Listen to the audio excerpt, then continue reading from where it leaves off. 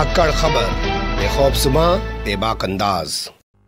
धाकड़ खबर के न्यूज़ से मैं आपके साथ हूँ, अकरम रईस खान, गरीबों के घरों को बुलडोजर से ढहाने वाली, तोड़ने वाली भगवा सरकार। अब भगवान के घर पर भी बुलडोजर चलाने लगी है। जी हाँ, ध्यान से सुनिए, थोड़ा गौर से सुनिए, क्योंकि खबर उस मध्य प्रदेश से सामने आई है, जिसे आरएसएस की सबसे बड़ी प्रयोगशाला कहा जाता है। यहीं पर आरएसएस ने सबसे बड़ा और सबसे पहला एक्सपेरिमेंट किया था। यहीं से हथियार चला था, जिससे नाथुराम गोडसे ने राष्ट्रपिता महात्मा गांधी की 30 जनवरी 1948 को हत्या की थी। यहीं पर गोडसे का मंदिर बना हुआ है। यहीं पर गोडसे के नाम से पुस्तकालय बना हुआ है और रात दिन उसका गुणगान किया जाता है और ये वो मध्य प्रदेश है। जहाँ दावा किया जा रहा है कि धर्म की स्थापना कर दी है और यहाँ के मुख्यमंत्री कह रहे हैं कि अब स्कूलों में रामायण पढ़ाई जाएगी, भागवत पढ़ाई जाएगी, उपनिषद और निषद, तमाम तरीके की धार्मिक किताबें हिंदू धर्म से जुड़ी पढ़ाई जाएँगी। वहाँ से खबर आ रही है कि वहाँ मामा जी यानी शिवराज सिंह चौहान की सरकार ने पीला पंजा चला दिया है। शिव जी के मंदिर पर। यानी कि उनको शिव जी से डर नहीं लग रहा है। कांग्रेस इस पूरे मामले को लेकर एक्टिव हो गई है। भगवा गैंग न जाने कहीं छुपा हुआ है। क्यों छुपा हुआ है? विस्तार से हर पहलू आपके सामने रखने की कोशिश करेंगे। चलते हैं खबर की तरफ़। खबर के शुरुआत में एक वीडियो से आपको रूबरू करा देना चाहता हूँ। ये वीडियो वायरल हो रहा है सोशल मीडिया पर। इस वीडियो में दावा किया जा रहा है कि ये शिवजी का मंदिर है, जिसको तोड़ा जा रहा है मध्य प्रदेश के रीवा ज़िले में। तो आप वीडियो को थोड़ा गौर से देख और सुन लीजिए।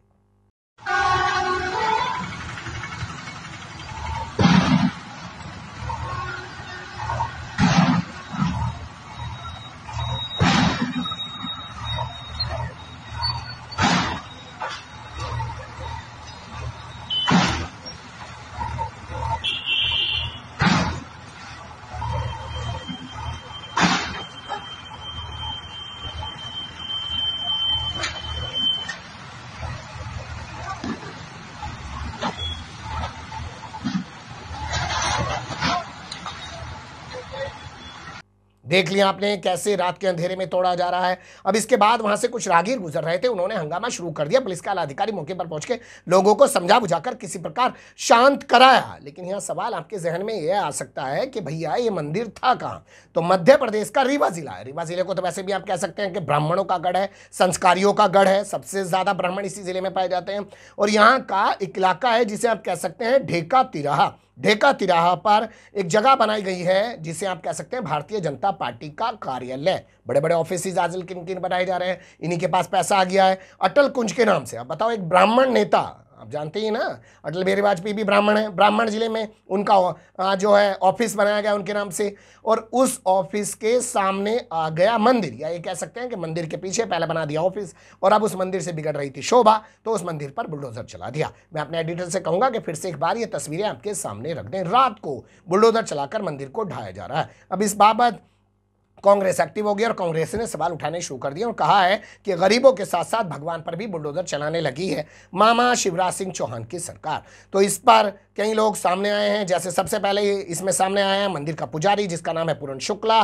वो भी संस्कारी है। उसने कहा है कि, साहब, हमारी बातचीत तय हो गई है। भारतीय जनता पार्टी वालों से इस वो इस मंदिर का जीर्णोद्धार करा रहे हैं। यानी कि अब बड़ा मंदिर यहाँ पे बनाया जाएगा, इसको तोड़ा जा रहा है। तो सवाल पैदा होता है, रात को अंधेरे में तोड़ने की क्या ज़रूरत थी? दिन के उजाले में तोड़ा जा सकता था। अब इसने एक यहाँ पर कागज़ रूपी नोटिस भी लगा दिया। कागज़ पर लिख के लगा दिया कि मंदिर तोड़ा जा रहा है, इसका जीर्णोद्धार किया जाएगा। इसके अलावा यहाँ का पुलिस प्रशासन एक्टिव हो गया है। वो भी इन्हीं बातों को कह रहा है, लेकिन भगवा गैंग कहीं गायब है। कांग्रेस ज़रूर सवाल उठा रही है और भारतीय जनता पार्टी के नेता भी कहीं गायब हैं। हालाँकि कुछ नेता सामने आ रहे हैं जो कह रहे हैं कि कांग्रेस इस मुद्दे को जानबूझकर तूल दे रही है क्योंकि उसके पास मुद्दों की कमी है। लेकिन ये तो साफ़ दिखाई दे रहा है कि मंदिर पर बुलडोजर चलाया जा रहा है। हालाँकि यहाँ कोई पहली बार ऐसा नहीं हुआ है। जहाँ जहाँ भी इनकी सरकार है, मथुरा में देख लीजिए, वहाँ पे बहुत सारे मंदिरों को तोड़कर बाकी बिहारी कॉरिडोर बनाने की बात की जा रही है। इसी तरीके से बनारस में भी किया गया, काशी विश्वनाथ के धाम के आसपास कॉरिडोर बनाने के लिए बहुत सारे मंदिरों को तोड़ दिया गया। इसी तरीके से उज्जैन में महाकाल और तमाम जगह पर भी किया गया है। लोगों को उजाड़ कर बर्बाद कर कर नई नई चीज़ें स्थापित करने की आदि हो चुकी जो भगवा सरकार है, वो मंदिरों को भी नहीं बख्श रही है। वहाँ भी खूब बुलडोज़र चला रही है। बने रहिएगा धाकड़ खबर के साथ। फ़िलहाल कमेंट्स के रूप में आप लोग अपनी राय दे सकते हैं, खबर को लाइक कर सकते हैं चैनल को सब्सक्राइब कर सकते हैं ज़्यादा से ज़्यादा हमारी खबरों को शेयर कर सकते हैं। फिर ऐसे ही किसी से लगते हुए, या वाला समुद्र लेकर मैं आपके सामने हूँगा हाजिर। फ़िलहाल अभी मुझे दें इजाज़त।